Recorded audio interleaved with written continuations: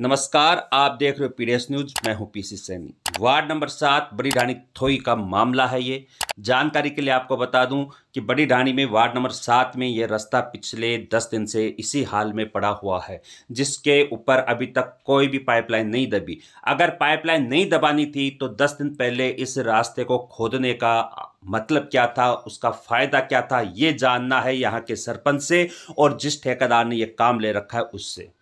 सवाल ये बनता है कि 26 सितंबर को ये रास्ता खोदा गया था और आज 6 अक्टूबर है। अभी तक इसमें कोई प्रतिक्रिया नहीं की गई, इसके ऊपर कोई काम नहीं हुआ तो इतने दिन पहले खोदने से फ़ायदा क्या है?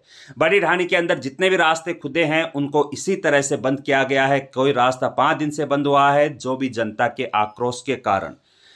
भट्ठे के ऊपर जो पाइपलाइन खुदी है, वो तुरंत बंद हुई है। ऐसा भेदभाव भी क्यों? ये भी सवाल बनता है यहाँ के सरपंच से। जानकारी के लिए बता दूँ कि इस रास्ते के ऊपर सिर्फ़ इसको खोद कर डाला गया है, किसी तरह का कोई काम नहीं हुआ है। तो सवाल ये बन रहा है कि अगर इस पर काम नहीं करना था तो इसे इतने दिन पहले खोद कर छोड़ने का फ़ायदा क्या हुआ?